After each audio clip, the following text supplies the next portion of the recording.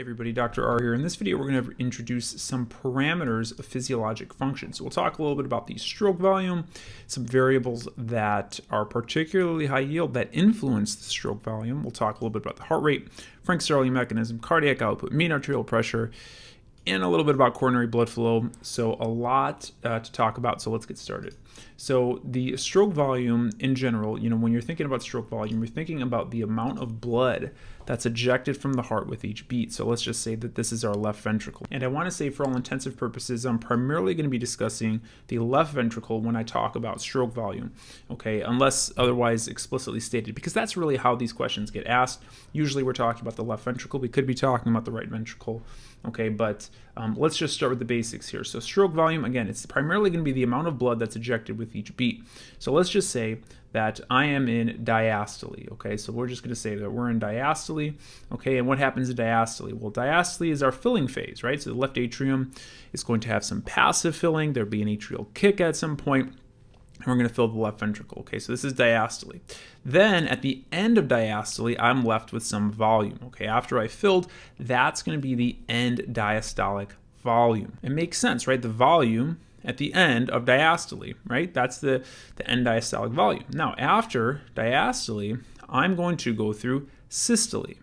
Okay, so now I'm going to go through systole. And while I'm in systole, I'm going to have some of that blood ejected. Okay, maybe not all of the blood's ejected, you know, some fraction of the blood is ejected. Okay, so this was maybe what I started with. That was my end diastolic volume.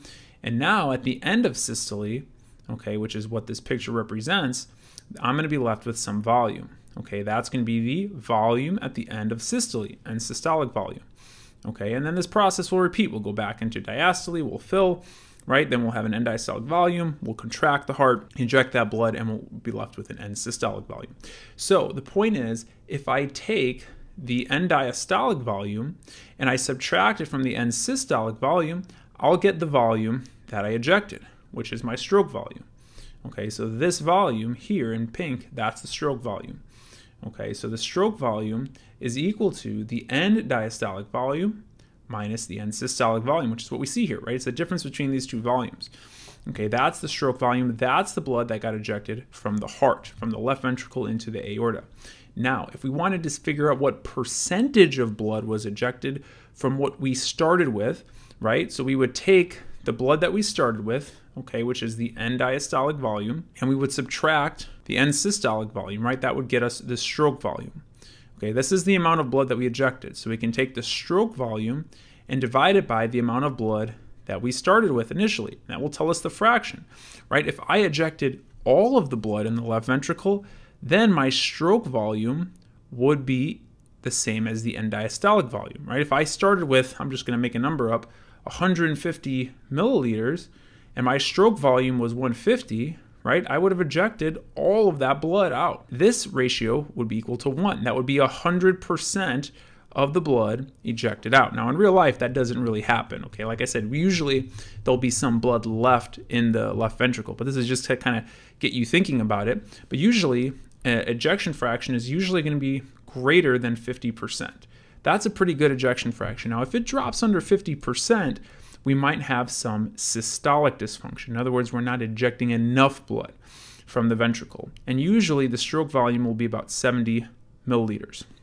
And I don't think you have to memorize all these numbers. Usually they'll give you a reference range, but they're going to kind of come into play in a second, so I'm just kind of introducing it. Now, the last thing on here, I'm going to talk about this in the next slide. The end diastolic volume is essentially going to be synonymous with your preload.